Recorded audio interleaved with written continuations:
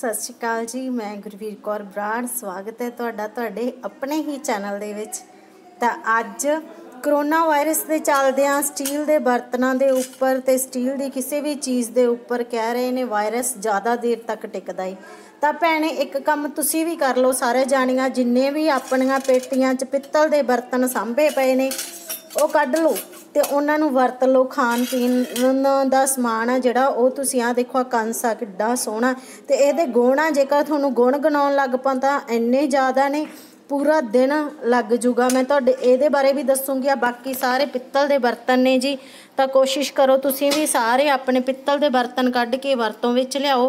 ਤੇ ਇਹਨਾਂ ਨੂੰ ਜਿਹੜਾ ਧੋਣ ਦਾ ਤਰੀਕਾ ਹੈਗਾ, ਸਾਫ਼ ਕਰਨ ਦਾ ਤਰੀਕਾ ਬਹੁਤ ਹੀ ਆਸਾਨ ਆ। ਲੱਸੀ ਲੈ ਲਓ, ਕਿਸੇ ਪਿੰਡੋਂ ਮੰਗਾ ਲਓ ਜਾਂ ਕਿਸੇ ਡੇਰਿਆਂ ਦੇ ਵਿੱਚ ਅੱਜ ਕੱਲ ਵਾਧੂ ਲੱਸੀ ਮਿਲ ਰਹੀ ਆ।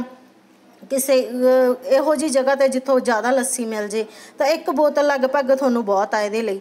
ਤਾਂ ਉਹਨੂੰ ਪਾ ਕੇ ਰਾਤ ਭਰ ਉਹਨੂੰ ਬਾਹਰ ਪਿਆ ਰਹਿਣ ਦੋ ਜਾਂ ਗਰਮੀ 'ਚ ਪਈ ਰਹਿਣ ਦੋ ਲੱਸੀ ਜਦੋਂ ਖੱਟੀ ਹੋ ਜੂ ਉਹ 'ਚ ਇੱਕ ਤਰ੍ਹਾਂ ਦਾ ਐਸਿਡ ਜਿਹਾ ਬਣ ਜੂਗਾ, ਤਾਂ ਉਹ ਐਵੇਂ ਲਗਾ ਲਗਾ ਕੇ, ਐਵੇਂ ਪੇਸਟ ਲਗਾ ਲਗਾ ਕੇ ਉਹਦਾ ਉਹਨੂੰ ਛੱਡ ਦਿਓ ਇਹਨੂੰ ਸਾਰਿਆਂ ਨੂੰ। ਤੇ ਸਵੇਰ ਬਸ ਸਿੰਪਲ ਸਕਰਬ ਲਓ ਤੇ ਸਕਰਬ ਦੇ ਨਾਲ ਇਹਨੂੰ ਸਾਫ਼ ਕਰ ਦਿਓ। ਬਸ ਇੰਨਾ ਹੀ ਕੰਮ ਕਰਨਾ ਹੈ ਤੇ ਭਾਂਡੇ ਦੇਖੋ ਜੀ, ਸਿਉਣੇ ਵਰਗੇ ਨਿਕਲੇ ਸਾਰੇ। ਬਸ ਆਹੀ ਸਿੰਪਲ ਸਕਰਬ ਇਹ ਲਓ, ਇਹਦੇ ਨਾਲ ਸਾਫ਼ ਕਰ ਲਓ। ਦੇਖੋ ਕਿੱਡੇ ਸੋਹਣੇ ਬਰਤਨ ਨਿਕਲੇ ਆਏ ਨੇ ਜਮਾ ਸੋਹਣੇ ਵਰਗੇ। ਤਾਂ ਤੁਸੀਂ ਸਿੰਪਲ ਸਕਰਬ ਦੇ ਨਾਲ ਬਾਅਦ ਦੇ ਵਿੱਚ ਉਹਨੂੰ ਸਾਫ਼ ਕਰ ਦਿਓ ਸਰਫ ਨਾਲ ਜਾਂ ਕਿਸੇ ਕੋਲ ਸੋਹਾ ਪਈ ਆ ਤਾਂ ਸੋਹਾ ਨਾਲ ਅੱਜ ਕੱਲ ਭੈਣਾਂ ਕਹਿ ਦਿੰਦੀਆਂ ਜੀ, ਨੌਵਾਂ ਦੇ ਵਿੱਚ ਸੋਹਾ ਵੜ ਜਾਂਦੀ ਹੈ ਹੱਥ ਕਾਲੇ ਹੋ ਜਾਂਦੇ ਆ। ਤਾਂ ਹੱਥ ਵੀ ਨਹੀਂ ਕਾਲੇ ਹੋਣਗੇ, ਸਿਰਫ ਤੁਸੀਂ ਡਿਟਰਜੈਂਟ ਲਓ, ਜਿਹਦੇ ਨਾਲ ਬਰਤਨ ਸਾਫ਼ ਕਰਦੇ ਹੋ, ਖੱਟੀ ਲੱਸੀ ਲਓ, ਇਹਨਾਂ ਨੂੰ ਲੇਪ ਕਰਕੇ ਰੱਖ ਦਿਓ, ਜੇ ਐਵੇਂ ਵੀ ਨਹੀਂ ਕਰ ਸਕਦੇ ਤਾਂ ਤੁਸੀਂ ਕਿਸੇ ਖੁੱਲੇ ਬਰਤਨ ਦੇ ਵਿੱਚ ਲੱਸੀ ਪਾ ਲਓ, ਵਿੱਚ ਪਾਣੀ ਪਾ ਲਓ ਤੇ ਡਬੋ ਡਬੋ ਕੇ ਸਾਰੇ ਬਰਤਨ ਰਾਤ ਭਰ ਪਏ ਰਹਿਣ ਦਿਓ। ਸਵੇਰ ਉੱਠ ਕੇ ਉਹਨਾਂ ਨੂੰ ਚੰਗੀ ਤਰ੍ਹਾਂ ਧੋ ਲਓ ਸਕਰਬ ਨਾਲ ਸਾਫ਼ ਕਰ ਲਓ ਤੇ ਸਿਆਣੇ ਵਰਗੇ ਬਰਤਨ ਤੁਹਾਡੇ ਸਾਹਮਣੇ ਆ ਜੀ। ਦੇਖੋ ਜੀ, ਦੇਖੋ। ਦਿਲ ਖੁਸ਼ ਹੋ ਗਿਆ ਦੇਖ ਕੇ ਭਾਂਡਿਆਂ ਨੂੰ। ਇੱਕ ਹੋਰ ਜੀ, ਆ ਬਹੁਤੇ ਪੈਸੇ ਨਹੀਂ ਲੱਗਦੇ। ਡਾਕਟਰਾਂ ਨੂੰ ਪੈਸੇ ਦੇਣ ਨਾਲੋਂ ਤਾਂ ਬਿਹਤਰ ਆ, ਤੁਸੀਂ ਘਰੇ ਆਪਣਾ ਇਲਾਜ ਖੁਦ ਹੀ ਕਰੋ। ਤਾਂਬੇ ਦਾ ਬਰਤਨ ਇੱਕ ਜ਼ਰੂਰ ਲਿਆ ਕੇ ਰੱਖੋ, ਜਿਹਦੇ ਵਿੱਚ ਸਾਰੀ ਰਾਤ ਪਾਣੀ ਭਰਿਆ ਰਵੇ ਤੇ ਸਵੇਰ ਉੱਠ ਕੇ ਇਹਨੂੰ ਖਾਲੀ ਪੇਟ ਪੀਓ ਤੁਸੀਂ। ਆ ਤਾਂਬੇ ਦਾ ਬਰਤਨ ਇਸ ਤਰ੍ਹਾਂ ਦਾ, ਜਾਂ ਫਿਰ ਤੁਸੀਂ ਇਹ ਵੀ ਕਰ ਸਕਦੇ ਹੋ, ਜਿਵੇਂ ਆ ਤਾਂਬੇ ਦੀ ਗੜਵੀ ਇੱਕ ਮਿਲ ਜਾਂਦੀ ਹੈ ਬਾਜ਼ਾਰੋਂ ਬੜੀ ਸਸਤੀ ਜੀ ਹੈ ਜੀ 80 85 ਰੁਪਏ ਦੀ ਲਗਭਗ। ਤਾਂ ਇਹਨੂੰ ਕੀ ਕਰੋ, ਆਪਣਾ ਪਾਣੀ ਪੀਣ ਵਾਲਾ ਤੌੜਾ ਹੈ ਜਿਹੜਾ, ਉਹਦੇ ਵਿੱਚ ਡਬੋ ਕੇ ਰੱਖੋ ਇਹਨੂੰ। ਬਸ ਇਦਾਂ ਹੀ ਡੁੱਬੀ ਰਹਿਣ ਦਿਓ, ਵਿੱਚ ਪਾਣੀ ਪਾ ਦਿਓ ਤਾਂ ਇਹ ਵੀ ਬਹੁਤ ਫਾਇਦੇਮੰਦ ਆ। ਜੇਕਰ ਤੁਹਾਡੇ ਕੋਲ ਪਾਣੀ ਤੁਸੀਂ ਆਰੋ ਤੋਂ ਲੈਣੇ ਹੋ, ਜਾਂ ਆਰੋ ਆ ਲਓ ਜੀ, ਮੈਂ ਤਾਂ ਆਪਣੀ ਪੇਟੀ ਦੇ ਵਿੱਚੋਂ ਬਰਤਨ ਕੱਢ ਲਏ ਨੇ, ਜਿੰਨੇ ਕ ਮੈਨੂੰ ਹੋਰ ਚਾਹੀਦੇ ਸੀ, ਇਹਨਾਂ ਨੂੰ ਵੀ ਕਰਦੇ ਆਂ ਜੀ, ਸਾਫ਼ ਆਪਾਂ ਖੱਟੀ ਲੱਸੀ ਦੇ ਨਾਲ ਆ ਪਤੀਲਾ ਕੱਢ ਲਿਆ ਇੱਕ।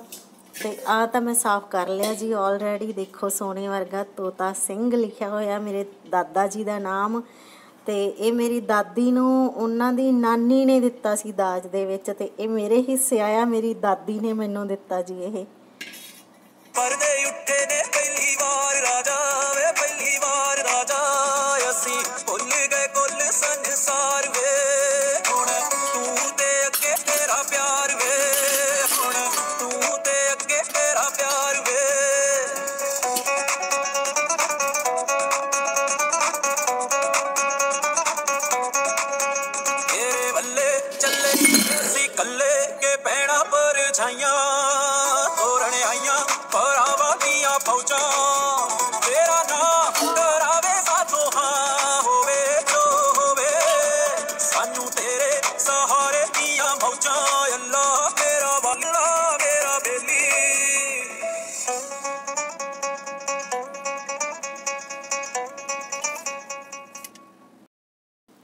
ਜੇਕਰ ਤੁਸੀਂ ਆਰੋ ਤੋਂ ਪਾਣੀ ਲੈ ਕੇ ਆਉਣੇ ਆ ਤਾਂ ਕੋਸ਼ਿਸ਼ ਕਰਿਆ ਕਰੋ, ਇੱਕ ਵਾਰ ਉਹਨੂੰ ਜ਼ਰੂਰ ਐਦਾਂ ਦੇ ਕਿਸੇ ਘੜੇ ਵਿੱਚ ਪੂਰੀ ਰਾਤ ਪਿਆ ਰਹਿਣ ਦਿਆ ਕਰੋ।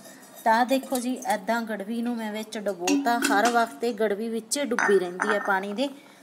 ਤਾਂ ਆ ਦੇਖੋ ਜੀ, ਇਹਨੂੰ ਹਫ਼ਤੇ ਬਾਅਦ ਕੱਢ ਕੇ ਸਾਫ਼ ਕਰ ਦਈਦਾ। ਤਾਂ ਇਹ ਬਹੁਤ ਸਿਹਤ ਸਿਹਤ ਦੇ ਲਈ ਬਹੁਤ ਫਾਇਦੇਮੰਦ ਆ।